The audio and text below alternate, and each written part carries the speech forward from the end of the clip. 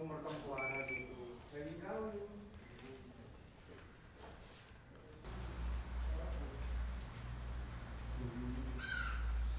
First, we have identified all the king cobras. We have microchipped all king cobras so that we, in future, we can identify the parentage of the king cobras. Out of that, four have mated, successfully mated, and afterwards, three have laid eggs in the enclosures.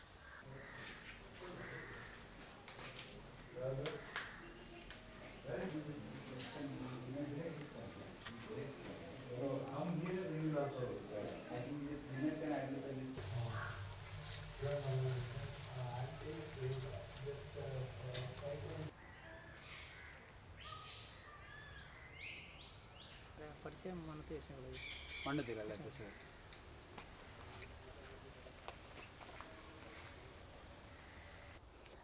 Baby queen പ്രകൃതി പ്രകൃതി തന്നെ അവർക്ക് രോഗപ്രതിരോധശേഷിയുണ്ട്.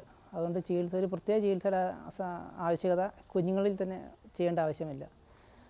പിന്നെ വലിയ വലിയ മുതിർന്ന അവയ്ക്കാണെങ്കിൽ മുറിവോ കാര്യങ്ങളൊക്കെ ഉണ്ടെങ്കിൽ ആന്റിബയോട്ടിക് ലഭ്യമായിക്കൊണ്ടുള്ള ചികിത്സയാണ് കൂടുതൽ ചെയ്യേണ്ടി വരിക.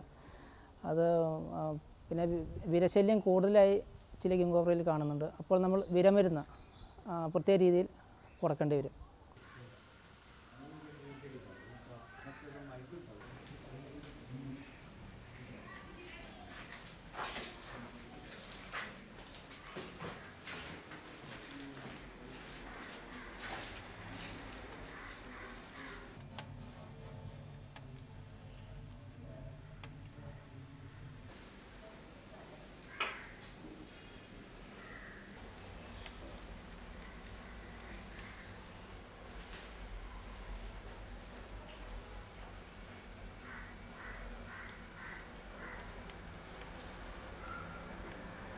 The next challenge is uh, how to rear these uh, babies.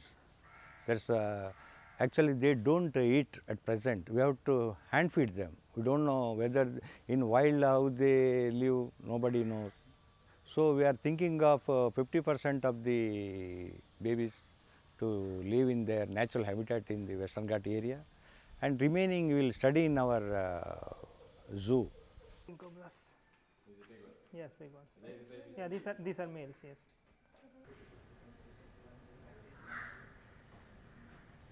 It's like in our country we have lots of zoos, but um, never have we seen a cobra, but especially never have we seen the baby. That's really good that it's continuing the species like that. It's a very, very good thing. And they've got a nice big enclosure, so they, you know, they have enough space to move around and it's very good. It seems like they would be happy where they are.